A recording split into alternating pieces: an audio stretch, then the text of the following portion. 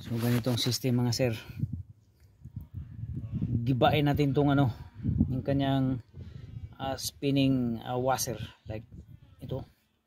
Kanyang lock nut kasi nawala yung lock nut. So gibain natin to. Saka natin pag giba na to, saka natin ito matanggal. Kanyang lock nut mismo. Pasagin natin to.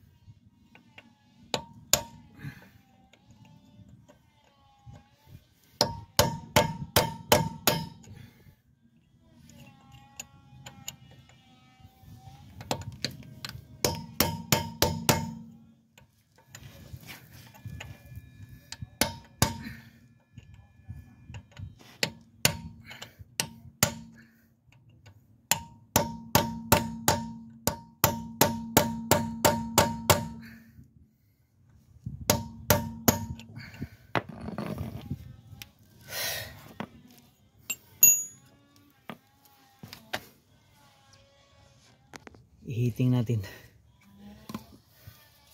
And then saka natin tirahin? Kunti na lang laman ito.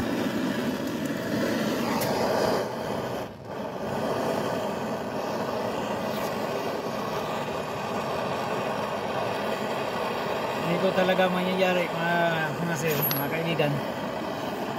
Pagka naglalagay kayo ng lock nut tapos mawala yung kanyang lock nut patay ganito yung worst case scenario pagka mawala na yung lock nut so my advice huwag na lang kayong maglagay ng lock wala rin eh. Hindi rin hindi rin ano. Maganda. Dahil pwede uh, order kayo. Nawala yung lock nut order kayo kaso uh, mapamahal nga kayo.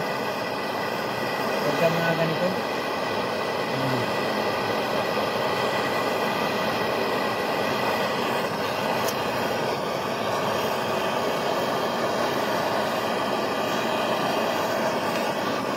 So mahabang proseso ito. Cut off natin ang video. Saka natin ibalik pagka ano na at the end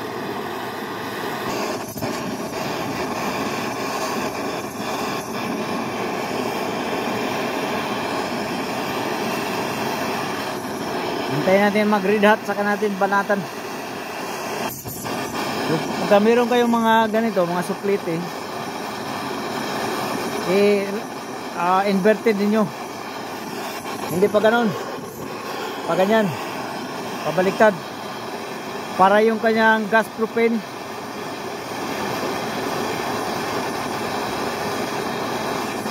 malakas ang ano niya, pasok. Okay. So like I said, ito na yun mga kaibigan. Tara. Yan. Yan. Mino na siya. So this is the worst scenario mga kaibigan. Mga sir.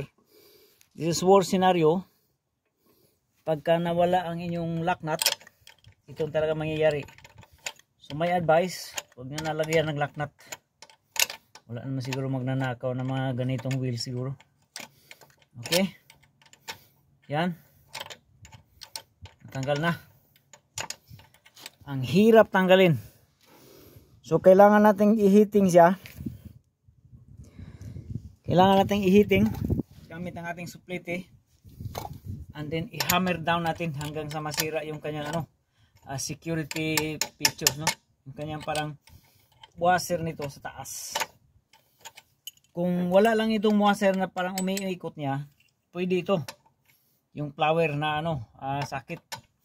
Pero ganun pa man kung pumasok siya hindi rin matatanggal dahil itong kanyang security feature system na kanyang ano iikot lang din. So kailangan mo talagang sirain the whole thing. Like i-heating mo siya and then chisel para matanggal. So ito. Natanggal na ito. Ganyanin lang natin muna pagtanggal. Dahil uh, sobrang init nito. Nagre-red hot na kasi ito. Kaya yun. So yan ang worst scenario. Pagka maglagay kayo ng lock nut tapos uh, mawala ninyo no? Ah uh, ganyan talaga. So and then ah uh, pagka tapos natin ito lalagyan ito ng ano uh, ordinary lock nut na lang. Ordinary same as this one. Okay?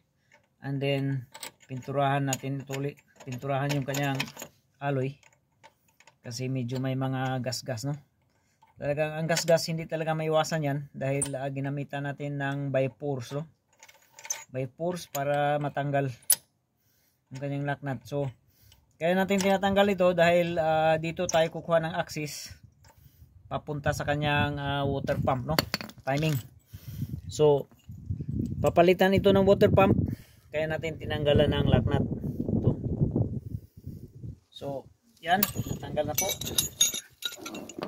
Uh, and then, bubuksan natin sa loob. Ito. Shout out para sa mga Ford Focus na mga car maker. Ang original size nito, nung meron pa siyang cover, is 19. Ngayon, nawala na yung cover dito. Dito no yung kanyang parang tsapa para sa kanyang laknat o sa kanyang wheel uh, wheel wheel nut and then since nawala na so from 19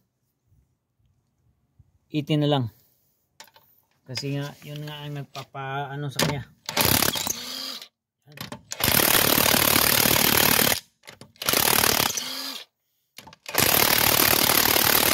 Mayroong iba dito na hindi kayang anuhin.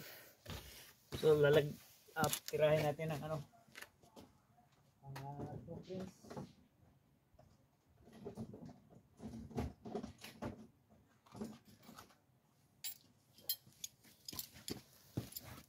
so to prevent na para hindi siya umikot.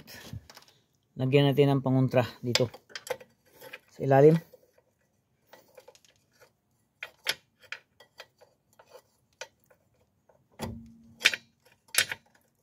Uh,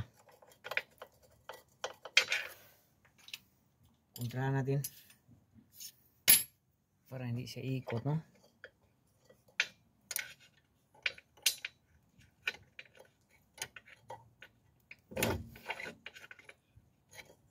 is nakasandwich yan in between sa kanyang brake disc okay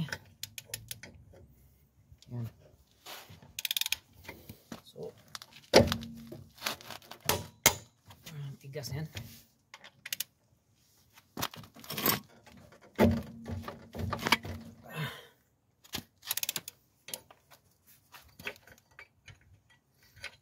Tigas mga kaibigan.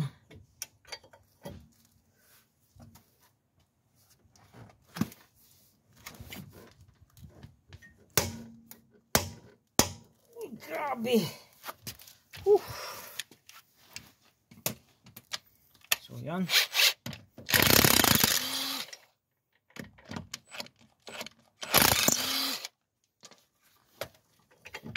Okay.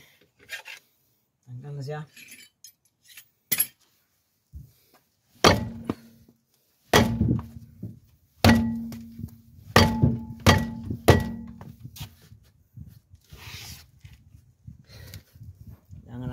Hammer down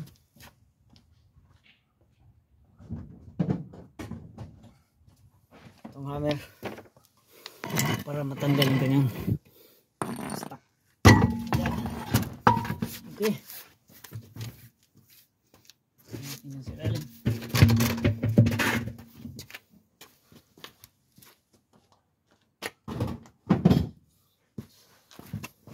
mabilisan lang ito kailangan matanggal natin mabilisan dahil ah, para maabiswa natin yung may-ari. Whether or not papalitan natin ng ah, timing belt yung kanya ano no? Ah sasakyan. Malaman natin yung timing belt either worn or not worn kasi nga pala ang purpose natin dito kaya natin tinanggal once again. Papalitan lang natin ng water pump. Ngayon yung water pump is naka kabit doon sa ano? Yun sa kanyang ah, timing belt so kailangan tanggalin. So okay